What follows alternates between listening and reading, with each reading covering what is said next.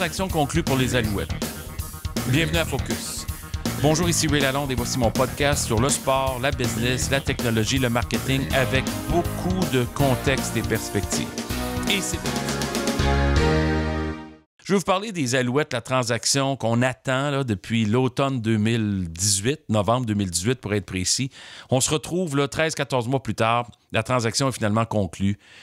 Euh, on est tous contents qu'il y ait un dénouement et un aboutissement, mais je vais vous dire, là, je suis un peu déçu de la façon dont la Ligue canadienne a opéré euh, pendant ce temps-là, surtout un peu étonné euh, du fait que on n'a jamais réussi à connecter avec un ou des investisseurs francophones. pas de préférence, pas de parti pris. C'est juste que je trouve ça étrange qu'une équipe comme ça qui devient disponible, on n'arrive pas à conclure une transaction avec un groupe local.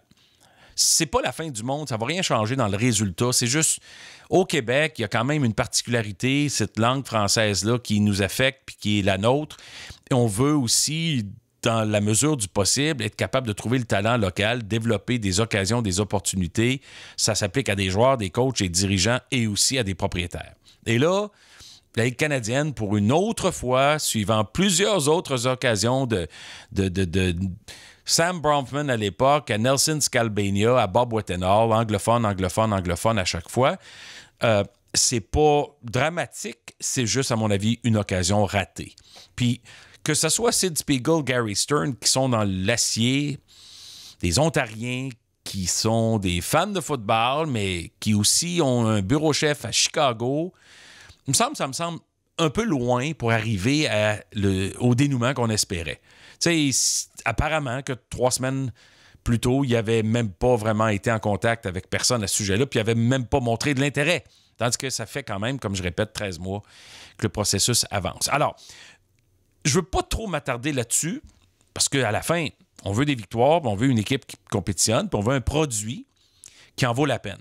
Mais je veux revenir justement là-dessus la Ligue canadienne. Mais moi, j'ai l'impression que la Ligue canadienne est à risque. Puis j'ai l'impression que les Alouettes aussi sont à risque. Puis j'ai l'impression que plus je regarde le produit, je trouve pas le, progrès euh, auquel il faut s'attendre lorsqu'on veut compétitionner dans l'ombre d'un ogre qui s'appelle la NFL, qui a des ressources, qui des milliards de dollars qui sont partout. C'est même pas comparable. C'est plus gros que tous les autres sports en termes de ligue. C'est pas plus populaire dans le monde entier que le soccer ou le basketball. C'est juste plus gros en Amérique puis aux États-Unis. Puis la CFL est un peu coincée derrière ça comme étant le seul sport ici où on a un deuxième niveau parmi nous. Si on prenait le hockey, la Ligue nationale de hockey, c'est la meilleure ligue au monde, puis la KHL est en, en Russie particulièrement, il n'y a pas de risque ici. Quand on prend le basketball, ben, tout le monde est clair que et tout le monde s'entend dire que la NBA est la meilleure ligue, bien sûr, mais la Ligue en France, la Ligue en Espagne, la Ligue en Suisse, la Ligue en Suède, la Ligue en Argentine, au Brésil, puis en Russie, puis ainsi de suite, c'est tous des bonnes ligues auxquelles les joueurs veulent tous un jour aspirer à la NBA. Le soccer, un peu différent, la MLS est définitivement pas la meilleure ligue en termes de talent et de qualité, comparé aux monstres de la Premier League en, Angleterre, de la Bundesliga en Allemagne, ou de la Lega, puis la, la, Serie A en Italie. Ça, c'est autre chose, mais, mais justement, c'est pas parmi nous. On n'est pas habitué à ça. Mais c'est en Amérique du Nord, la seule occasion, on a deux ligues qui sont un peu en, compétition. Vous allez me dire que les, les, joueurs sont canadiens. Oui, mais des Américains qui jouent dans la Ligue canadienne. Il y a des Canadiens, quelques-uns qui jouent dans la NFL. Mais le produit, la mise en marché, l'argent derrière ça, c'est incomparable. La Ligue canadienne est une très petite ligue avec un cap plafond salarial d'autour de 5,2, 5,3 millions, avec un.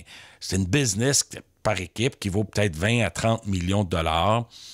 Euh, c'est modeste, c'est correct, il n'y a pas de problème. Ça a beaucoup de racines dans l'Ouest canadien. Les trois villes qui souffrent le plus sont justement les trois plus grosses villes au pays Toronto, Montréal et Vancouver. Vancouver est à vendre. Montréal vient d'être vendu. Toronto a été vendu à MLS. MLSC, pardon, il y a quelques années. Une chance. Eux, ils ont des, poches très profondes et des grands moyens pour aider cette équipe-là à se refaire une, une image. Mais il demeure un fait, c'est que les Argos n'attirent pas beaucoup non plus. Et euh, alors, mais cependant, en Saskatchewan, à Winnipeg, à Hamilton, la Ligue canadienne est en pas pire condition. À Calgary. Alors, il y a à peu près un tiers d'équipes qui perdent de l'argent, pas mal. Il y a peut-être un tiers d'équipes qui sont rentables, juste, puis un tiers d'équipes qui sont profitables. et qui, qui réussissent à avoir des états financiers très positifs. C'est ça la Ligue canadienne. Mais à la fin, il faut avancer dans la prochaine génération, connecter avec les jeunes. Il faut trouver une façon pour la Ligue canadienne d'être à l'affût de la technologie, d'être à l'affût de ce qui est cool pour les jeunes consommateurs qui ont plusieurs choix à faire, puis que la Ligue canadienne est loin dans le rang, dans le classement des, des, des ligues ou des produits sportifs souhaités. Ça ne veut pas dire qu'il n'y a pas des jeunes qui veulent jouer du Québec ou de l'Ontario ou de partout pour la Ligue canadienne, bien sûr.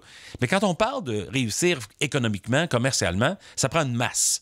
Et pour avoir une masse, c'est plus que les joueurs et les fans durs de football. Ça prend des occasionnels, ça prend des gens qui sont en satellite autour, puis qui trouvent que le produit à l'occasion en vaut la peine. ça a été démontré que depuis 5-6 ans, en tout cas ici au Québec, c'est un gros défi. Pourquoi? Peut-être la mauvaise gestion, peut-être des mauvaises décisions d'affaires. Certainement que les commanditaires, le monde corporatif n'a pas vu l'opportunité avec les Alouettes dans les dernières années.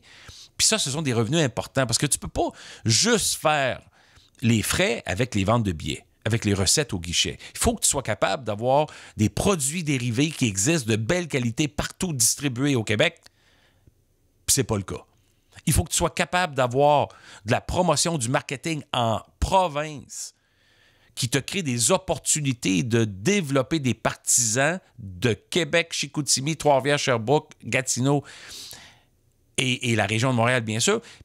Puis on ne l'a pas vu, ça, depuis quelques années. Il faut que tu sois capable, évidemment, de vendre des loges à un prix élevé. Mais là, le stade s'y apprête pas, puis il n'y a pas une grosse demande pour les loges pour les matchs des Alouettes. Il faut que tu sois capable d'offrir une expérience absolument spectaculaire dans un stade. Pensez à Winnipeg et Regina, justement, qui s'en sont fait bâtir des, des stades absolument exceptionnels. Effectivement, ça a coûté 200 à 300 millions de dollars si on n'a pas le 200-300 millions ou le propriétaire ne l'a pas, bien là, on est pris à jouer dans un stade qui est euh, médiocre. Où il y a des beautés, le centre-ville, la montagne, le skyline de Montréal, bien sûr, mais, des, des obstacles à la commercialisation, à la nourriture, au stationnement, à l'achat de produits dérivés, pas si simple que ça. Puis finalement, quand on parle justement de la rentabilité d'un club, il faut que tu aies un bassin corporatif qui est prêt à investir des sommes d'argent pour avoir leur logo associé à l'équipe. Puis ça, on ne l'a pas vu non plus depuis 4-5 ans. Alors, c'est pour ça qu'ils perdent de l'argent comme c'est pas possible. Et c'est pour ça que peut-être que les propriétaires éventuels se sont dit, ben, boy, ça sera pas évident d'effacer. Les, je parle pas des pertes du passé, mais l'avenir, ce qui reste comme prévision économique et financière pour une équipe parce que vendre quelques centaines ou milliers de billets de plus par match, ça ne règle pas un bilan financier qui subit des pertes de 8 à 10 millions de dollars depuis quelques années. Ça prend plus que ça. Puis la réponse à ça, c'est que ça prend de l'argent corporatif. Des commanditaires qui vont, qui vont investir 400-500 000 dollars, puis plusieurs d'entre eux pour aller chercher une somme vraiment importante de partenaires qui vont ensuite aider à véhiculer le produit partout. Alors, Gary Stern et Sid Spiegel, qui est âgé de 89 ans, donc ça va être surtout Gary Stern qu'on va voir, lui a un gros défi. Non seulement un défi d'embaucher les, les intervenants dans la ligne du centre entre propriétaire, président, directeur, gérant et coach, on a un coach. Mais les intervenants qui sont manquant pour le moment, c'est-à-dire président et directeur gérant, ces deux-là vont avoir un rôle critique. Pas juste à bâtir une équipe qui gagne, mais à reconstruire la fondation de football d'affaires que représentent les Alouettes. Parce qu'ils vont devoir parler aux gens, parler à des investisseurs, aux parties prenantes dans le monde des affaires au Québec euh, et reconnecter mais aussi avoir la preuve que ça en vaut la peine. C'est facile de dire on reconnecte. C'est facile de dire euh, Ouais, ben là, il y a une grosse job de commandite à faire, bien sûr, mais il faut quand même qu'il y ait une valeur derrière avec laquelle ils peuvent s'assurer que ça vaut la peine. Et là-dessus, ça, ça va être le gros défi. Ça va être d'être capable de générer de l'attention, générer de l'intérêt, de l'émotion dans un monde beaucoup plus compliqué. La clé du succès dans le sport professionnel, c'est toujours d'avoir des propriétaires avec des poches profondes, d'avoir un stade moderne, puis d'avoir un marché corporatif. Quand tu as les trois ingrédients principaux de cette recette-là, tu peux y arriver. Et depuis quelques années, ça a été très dur pour les Alouettes. C'est dur aussi pour la Ligue canadienne, qui dépendent beaucoup, beaucoup de l'argent de Bell et de TSN et de RDS. Parce que sans cet investissement-là, qui rapporte des dizaines de millions de dollars à la Ligue annuellement, ben, la Ligue serait encore plus fragile. Alors, on va voir c'est quoi le plan de Randy Ambrosie. Moi, personnellement, je n'ai pas été vraiment foudroyé par la direction dans cette transaction-là.